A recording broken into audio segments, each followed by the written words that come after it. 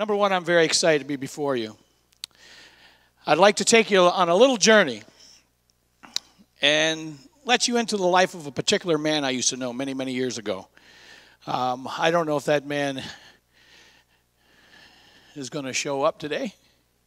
There he is. There he is. I knew this guy for a lot of years, and I knew him very well. Um, and somewhere along the line, we lost connection, oh, probably close to 20 years ago. Um, he's reached out to me several times throughout the years, and um, uh, sometimes I've ignored it. And there was actually sometimes I actually embraced a talk with him. You know, I mean, how do you know somebody that long and really separate yourself from somebody you've known that many years? You know. So, if you guys don't mind taking a little journey with me, I'd like to share a little bit of his life with you, and um, and then we'll go from there. So, this gentleman right here, his parents were teenagers. His mother was 17 years old when she was pregnant with him. They're from a little town in New Brunswick, Canada. And at that day and age, it was not good to be 17 and pregnant. So his dad thought he would do the right thing. Now they're unmarried. And he took his mother and they escaped and they ran to Nova Scotia. At this time, dad decided that it's time that he had done something to uh, with his life, and he joined the Canadian Navy. And um, during his time he was serving, this young man was born in a little town called Yarmouth, Nova Scotia. I don't think there was many people in that town, um, but there was a hospital at least. So a few years went by, and Dad and his mom they picked up the young family and they moved to Ontario, Canada. There, where his father would then take on a new role working on a lake freighter, which often left him for many weeks away from home. So this young mother, teenage mother, was left to raise this young boy. Now, mind you, they ran away from home to get away from the parents, to get away from, you know, the ridicule and all that. So, as a mother, she was not very well experienced. She didn't have much to uh, go by in terms of raising a son. She did the best she could. And it was a very interesting thing. They were a young couple, and when dad would come home, um, now she was a good looking woman, but he had a rage of jealousy in him. That uh, he always believed that in his absence she was out messing around on him. And um, from the time he could remember, he always seen his dad beat his mother. And um, so that wasn't too, too good for a young dude, you know, to witness stuff like that. As time went on, uh, at the age of five, he was now has a, another younger brother, and um, life goes on, and um, it's, it's, it's, a very sad story. Sometimes it breaks my heart when I think about um, the life he went through as a young man. Um, he witnessed a really bad time at the age of five when his dad, literally, the eyeball was on her cheek. Very, very, very traumatic for a five year old. So, about the age of seven, his dad got off the lake freighters and found a job in Windsor, Windsor, Ontario, with an international tugboat company. Okay? And um, now this job was about 200 miles from where they lived in a little village called Nanticoke, Ontario. So the dad would come home on the weekends, you know, and um, you know always had something for them to do. Uh, you know his him and his brother. At the age of seven, his dad took him through summer vacation, would take him to the tug. There he would clean bilges, he would paint. And because it was an international tugboat company hauling railroad cars back and forth across on barges, there was custom papers to stamp, you know learned how to splice rope, you know, kind of some, it seemed kind of neat for a seven year old, but uh, the reality is, from seven years old, he, he never got to play with his friends anymore in summer for the rest of his life. Can you imagine? Can you imagine that? Can you imagine as a seven year old that you can't be a kid no more? God, that's heartbreaking talking about this guy. He meant so much to me. So we're going to fast forward a few years. By the time he was 14 years old, he now had two brothers and a sister. And his dad said, It's time. We're going to bring the family together. So he took his family and they came to the United States because at the time the US dollar was much higher. So it made most sense for them to move to the United States. Can you imagine that? The family dynamic of a mom and a dad and siblings all together under one roof. But that's where all hell broke loose, guys. You see, neither one of them knew how to be a parent, let alone cohabitate, be in the same house together, right? So, some of the things that he took away as a young man from his dad was he was taught, and they had values. They learned some values. Now, his dad taught him, he says, uh, never trust a man that wouldn't have a beer with you.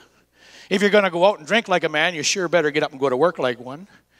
But the biggest value he ever walked away with was never trust one of them born agains.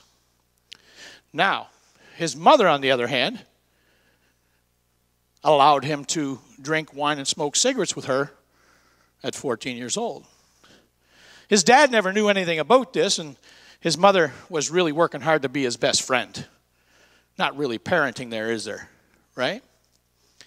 So this young man got to see a lot of trauma throughout his life. He totally mixed messages of what it is to be a man, to grow up and be a man, right? To understand that, uh, you know, that is, you, you, you can't be sneaking around, right? You can't be beating people up to get your way or fix problems, right? And drinking was okay. It seemed to be okay. It seemed to be the thing to do, right? So we'll fast forward again about three more years. At this time, um, the young man was 17 years old and he was in high school, and uh, actually, he was 16, became 17. He dropped out of high school. He was introduced to some, let's just say, it wasn't medical marijuana, but it was, it was some pretty good stuff back then. And um, he would find himself often getting high. You see, he didn't have much of a interest in education because he was never taught education had any value to it. And um, so he ended up dropping out of school. Now, when he dropped out of school, now, he, mind you, he went back to try to see if he can finish it, but not with much success. But through that time, at 17, he decided he was going to move out of the house. And he moved out of the house.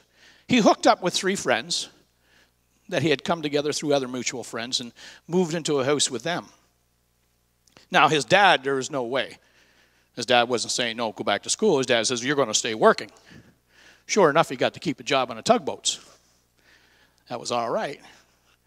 So by the time his dad, uh, a couple years went by, by the time he was 18 years old, his dad went ahead and started his own tugboat company. And he brought him on board. He says, You know what, son? He says, I want you to run my tugboat company. So at the age of 18, he became a tugboat captain. He ran nice size uh, barges and tugs, and they're hauling a lot of rubble and whatnot. And you know, at 18 years old, that's that's something else, man. This guy was 18 years old. Man, he reached back, brought a couple buddies on that he used to hang with. They were his deckhands. Continued with the drugs, though. That continued to go on. And um, actually, it got a little more intense as he found himself getting involved with the the fun stuff, the chemical drugs, the acid, the mescaline, cocaine. And, um, you know, he really didn't know how to cope with life or cope with people. And this seemed to be a pretty good out for him, right? Because he could be anybody he wanted to be within that frame of mind. You know what I mean? It really helped take care of the past and the hurts and the pains. And this was a good place to mask yourself. By the time he was 21 years old, the contract for the barges had run out. And for the very first time in his life, this young man ran out of work. He was unemployed. This was devastating, as the only identity he had was his job. He had nothing else to know himself by. He was a tugboat captain, 18 years old, 21, no more work. He ran into a friend after a month of being out of work that had an opportunity in a shall I say, a land job, having grown up on the lakes. Um, it seemed kind of odd that he would want to take a land job. Who would want to work on the land after a lot of people sitting here love it when they get on the water? Why would you pass something like that up? So he took on this job. They had an opening for a welder. Now, back in that time, it only paid $5 an hour for a stick welder. He got into this plant because he had such a great work ethic, because he can go out and drink like a man and he would always show up to work, because everybody he hung with drank beer too, so he could trust them, right? And nobody bought into any of that religious crap or any of them cats that were trying to run around talking about Jesus. So he had a pretty good thing going. So in no time, he was up to 13 bucks an hour. He was now able to afford his own apartment. Um, but through this time, he started disconnecting from all his friends. Now, he started getting control in his life with the drugs because now all he was doing was smoking dope and drinking beer. Put those chemical drugs away. He's got a good, good handle on this stuff now, right? I mean, it's just pot. Doesn't do nothing to you, right? And then he found himself, he was set up on a blind date, one night stand, it ended up turning into. Didn't see the lady. A couple months go by, a phone call comes through. She tells him she's pregnant. Well, he wasn't having any of that. He said, You're going to be my wife. You're going to move in with me, and I'm going to take care of that baby. So it took place. Three years to follow, came another child. There was no love in this marriage. There was no anything in this marriage. But he was doing the right thing. So a few more years go by, and it's time to make a change, different scenery. It's time to move up north. I mean, that's where it's at, right? Lots of woods, you can go hunting. You know, you wake up in the morning, you got no neighbors, they're few and far between. So he took on a job in a little machine shop up, up in Capac. You guys know what Capac is, don't you? Chickens and pigs and cows. That's what that is. So he took a job up there and he moved up there and moved his he bought a five bedroom farmhouse. He bought a few acres, had the barn still on there. And back in then that time, you can do all this for $63,000. Can you imagine getting a mortgage on a $63,000 house now? I mean, it's like that's like a down payment now. So he got there with this young family. And then he went out on his picnic table and he sat there, 25 years old. And he looked around at all the hills, because it was hilly up there. And he looked at the woods and just the beauty of everything. A bonfire was going. And he sat there and he thought to himself,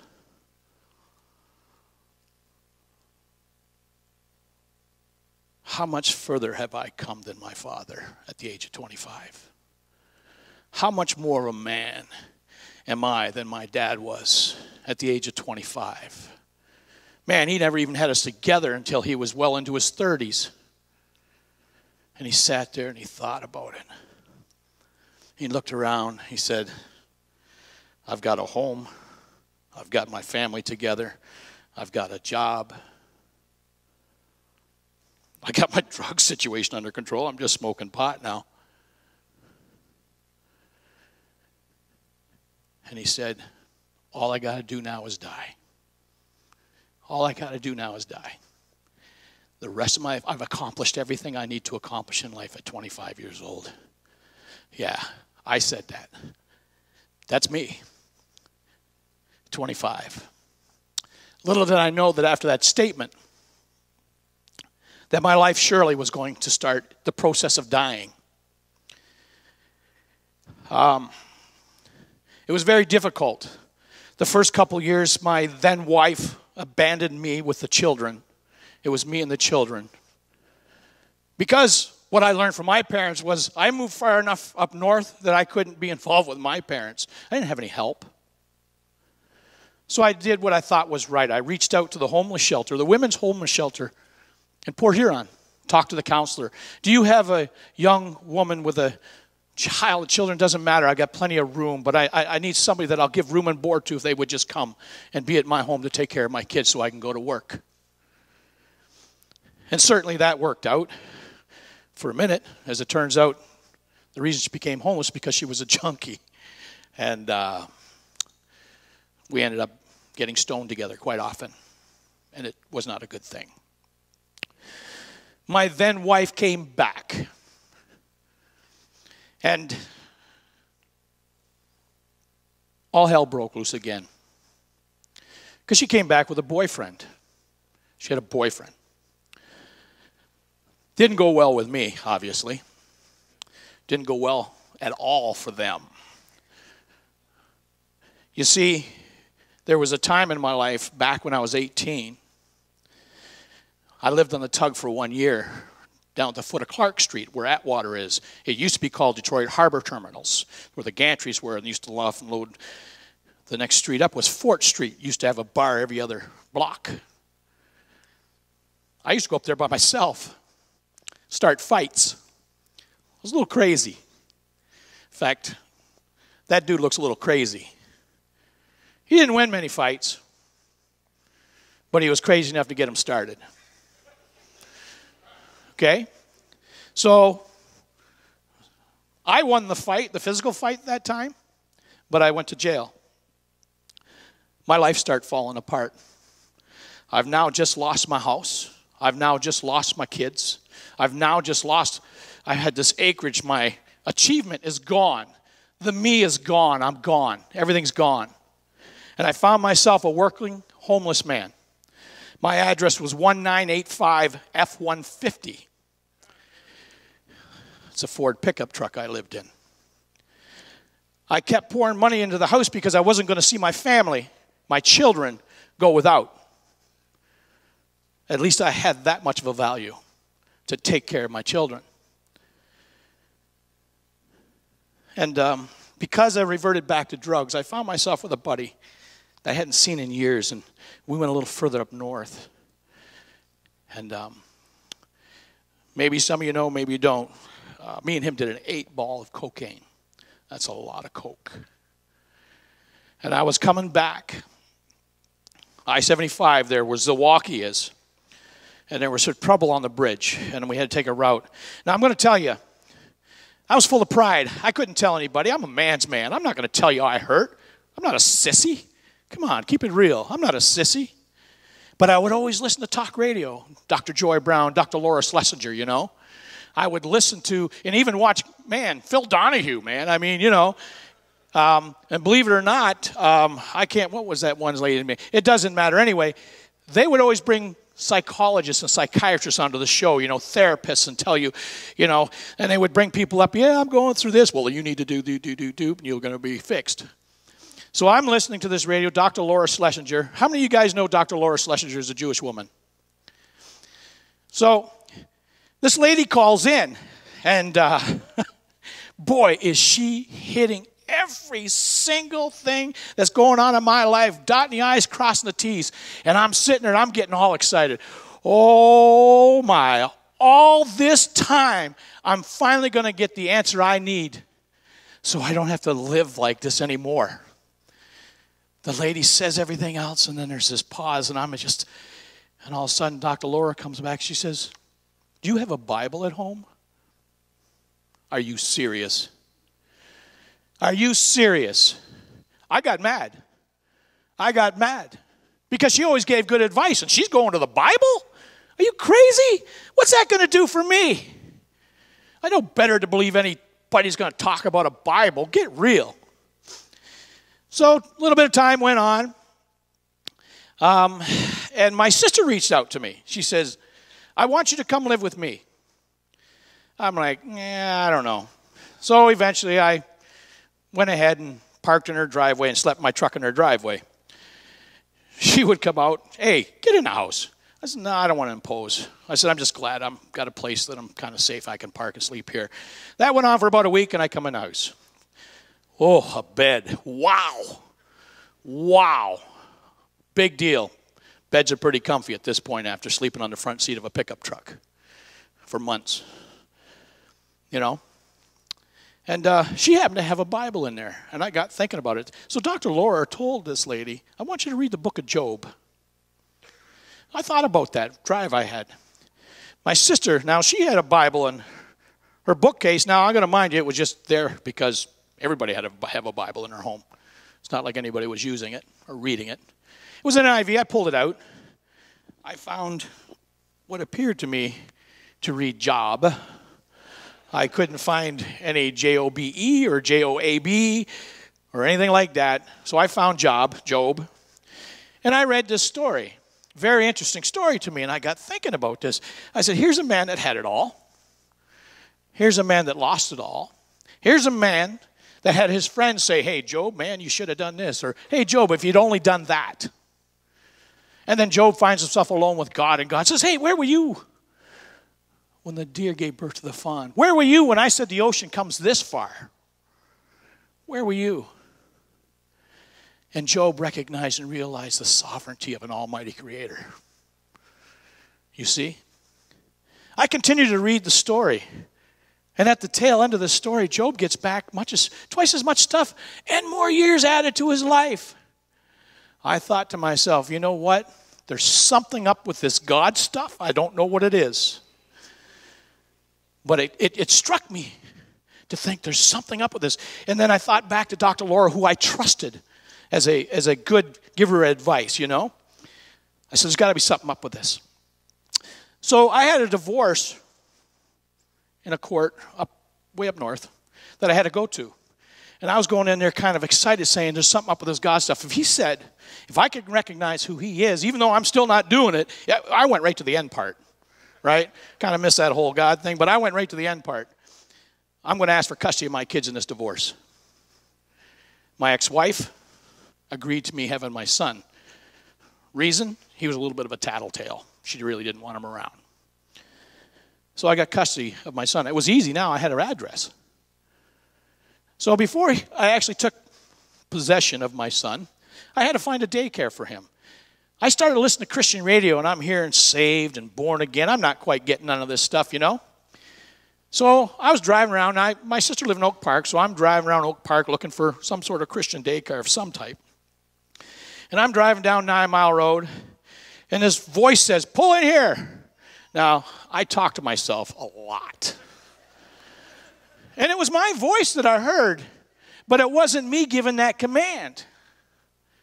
It was the audible voice of God. It was windy that day. I pulled into that parking lot. There was a brand new daycare, had a banner that was blown in the wind. I would have drove right by it. It was Heavenly Haven Daycare. I went in there to inquire. Of course, I was greeted with all this lovey-dovey Christian stuff. Whatever. There was a guy I had lived up across the street up north that went to church every Sunday, but he drank with me and smoked pot all through the week. Difference between me and him, I slept in on Sundays. You see? So I was never impressed. I always thought Christians were hypocrites. It's kind of life I've seen from them. So I get my son enrolled. I get custody of my son. My son spends the first week in his daycare. Every day I go in there, it's the same thing. It's the same thing. They're all lovey and dovey. It was like, oh my God, stop already. But I'm comfortable though because, you know, they're all lovey and dovey and my son's getting what he needs. So the pastor who owned it, she's, I asked her one day, I says, hey, I keep hearing about this saved, and I keep hearing about this born again stuff, you know, and I'm not really sure. Like, saved from what? I mean, really, saved from what? What do you, what do you, what does that mean? And to be born again, all that just kind of ridiculous to me, you know. So she took me in her office. She opened up her Bible, Romans chapter 10, right? Verses 9 and 10. We're going we're going to talk about what it means to confess your sin.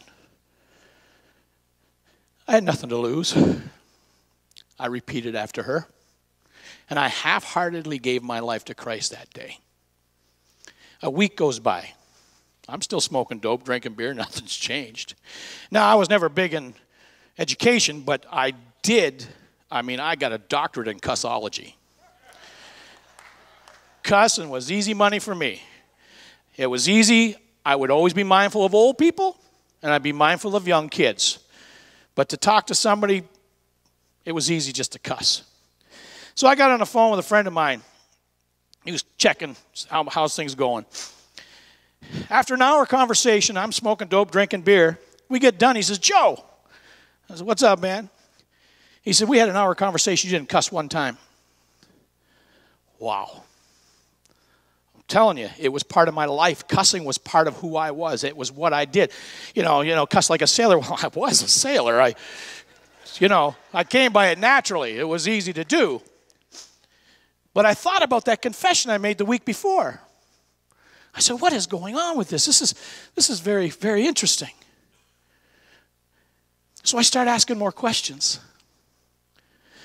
And the, I says, well, I said, you know, I, I really got a problem with the Bible, thee, thou, though. You know, who, who, how do you get through that stuff? Oh, man, I'm to I'm to give you a Bible. I'm going to tell you what to get. Now, this is the Bible.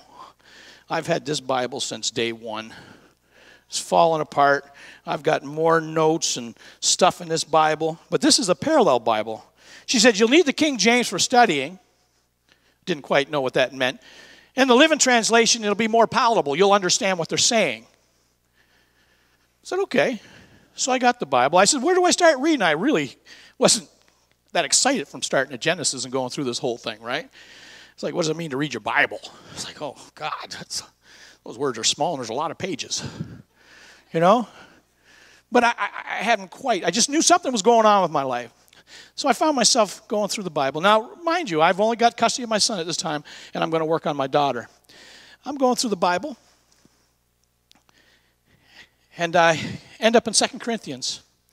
Now, this is a verse we've shown on the screen, I think, the last three weeks. Two weeks for sure. I came across 2 Corinthians 5:17. If anyone is in Christ, he's a new creature.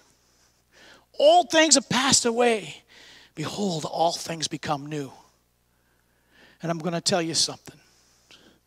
Nobody laid hands on me. Nobody said a prayer over me. But the Holy Spirit. The Holy Spirit. Now, anybody know about this knot in their gut right here? Does anybody know about this knot in their gut right here? Drugs take it away, booze take it away, and it's there again the next day. And then you drink more booze and it goes away and it comes back. You take more drugs, it goes away and it comes back. Passed away the old. That knot at that very moment. The guilt that I had, the guilt that I felt for lie, for, for my whole life of treating my kids right, not knowing how to raise them. Just, just being an ignorant person my whole life. How can, how can he just make everything go away? You can't. This guilt is tormenting, it's killing me. I become a new creature. The Holy Spirit came upon me at that moment. That knot that I had carried for years was gone. Gone. The Holy Spirit, I'm going to tell you something right now. I got stoned good. I knew how to get stoned, man. I knew what a good buzz was, and I knew where to stop because I wasn't going to mess it up by passing out. You know what I mean? But I'm going to tell you, of all the years and all the dope that I did, I had never been so high in my entire life as I was the night that the Holy Spirit came upon me and said, Joe, today is the day that you begin your new life. Today, I'm going to give you new life. My God, I wanted, it was around midnight. I remember distinctly it was around midnight. And I wanted to go outside and I wanted to pound on every door in that neighborhood and said, You don't know what you're missing. You need this Jesus. You can't live without this Jesus. I know my life. I know the man I am. And when I talked about that old man that was up on the stage, that I he would reach out to me and sometimes I would entertain that. Some of us right here, right now, are still entertaining the old man. Not allowing yourself to be the new creature he wants you to be. Some of you are sitting in here right now with that knot still in your right here. How is it that we can all agree we know about this knot if God didn't intend for this knot to be a recognition or a physical sign that something ain't right? This knot has never returned. Ever. I want to tell you something. The scripture says, in Christ. So there's a condition here, isn't there? We have to be in Christ, right? So in Christ, what are we? We're free. In Christ, we're what? We're blameless. In Christ, and Josh talked about it last week, we're chosen. And one of my favorite verses is from uh, uh, John 15, 16. And he says, You didn't choose me, but I chose you. And I've ordained you that you should go forth and bear fruit. Not only that, that your fruit would remain. And that whatever you ask of my Father in my name, He's going to give it to you. How's that? I belong now. I'm a somebody. That life, that at 25, where there was nothing left to achieve, and the drugs and the booze and the, and, and, and, and, and the, the abuse and, and, and, and the trauma, all that stuff, that wasn't me anymore. That wasn't me anymore. Not only am I chosen, I'm forgiven. wow! Boy, that was the biggest guilt thing right there. You know, how many times we come in and say, Oh, I'm sorry, I'm sorry, I'm sorry. You know, well, sorry means nothing if the behavior doesn't change. Can't change the behavior without the help of the Holy Spirit. I'm going to tell you one thing this word is alive. It is alive. I'm going to give you a real quick nugget. So the booze went away, the cussing went away, right? The pot went away. But you know what didn't go away? I struggled with smoking cigarettes. Got a problem here because the woman I was chasing, this beautiful lady over here, happens to be a radi- in radiation oncology, cancer, not going to deal with a cat that smokes.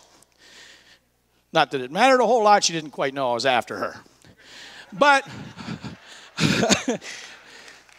So I prayed, oh Lord, give me the strength to, to stop smoking. Lord, you know, I'm I'm trying the gum and I'm trying all this here. So I found myself, I'm reading the Bible in a passage in Matthew.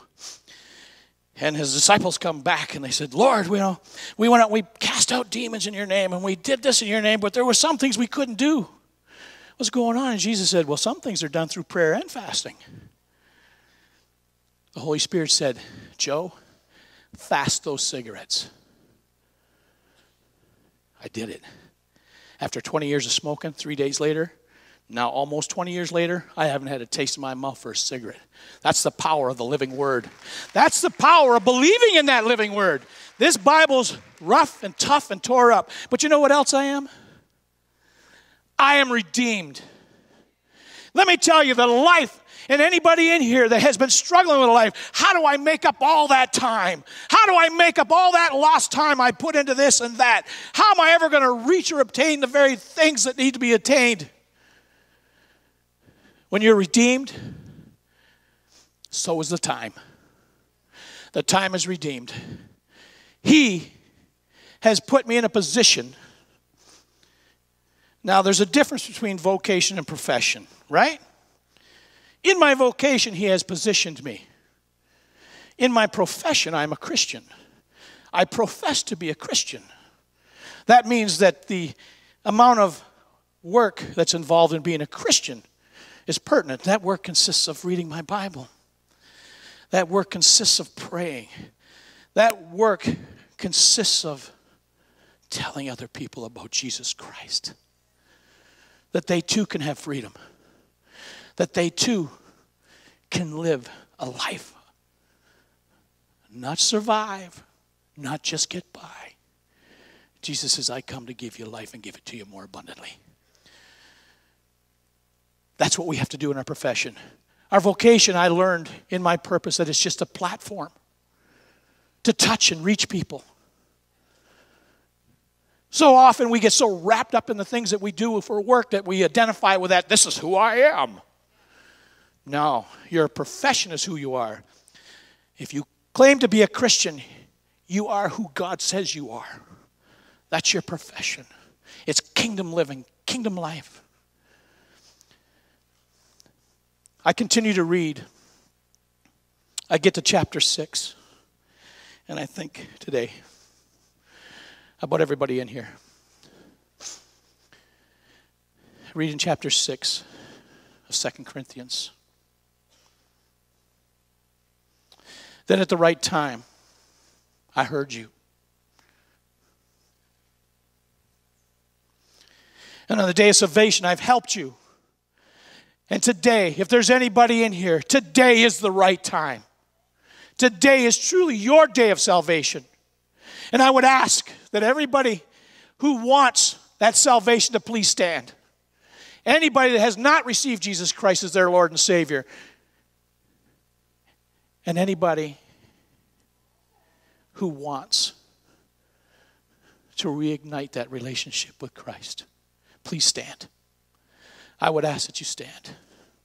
Anybody that wants to stop identifying with the things from the old man, anybody,